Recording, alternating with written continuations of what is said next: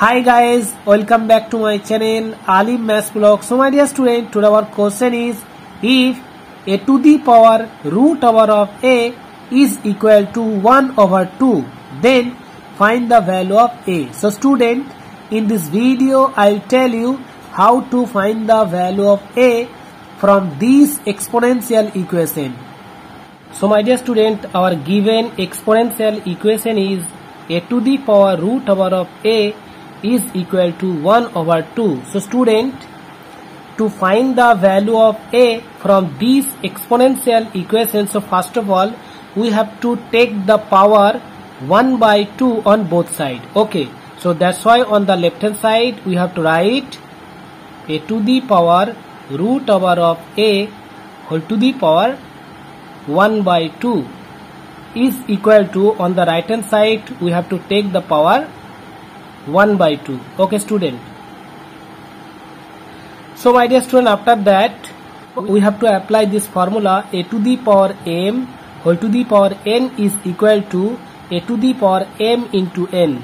So we have to apply this formula on left hand side. Okay. So student on the left hand side we have to write a to the power root over of a into 1 over 2 is equal to again we have to write 1 over 2 whole to the power half. Okay student. So student to find the value of a from this algebraic equation so we have to arrange this algebraic equation in the form of a to the power a is equal to b to the power b. Then we are able to find the value of a from this equation. Okay student so I again we have to apply this formula on left hand side. Okay. After apply this formula on left hand side so we can write in here a to the power half whole to the power root over of a is equal to again we have to write 1 over 2 whole to the power half on right side. Okay student. So my dear student on the left hand side in the place of a to the power half we have to write root over of a and in the place of power again you have to write a. Okay student. So my dear student a to the power half is equal to a to root over of a. So student a to the power half is equal to root over of a. So we can write root over of a in the place of a to the power half. Okay student. And on the right hand side again we have to write 1 over 2 whole to the power half okay student. So student to find the value of a from this equation so we have to apply this formula. Okay. After apply this formula on this equation so we can write on the left hand side root over of a and on the right hand side will be only half. Okay student. Have to write in the place of root over of a a to the power half. Root over of a that means a to the power half. Okay and on the right hand side we have to write 1 by 2 okay student.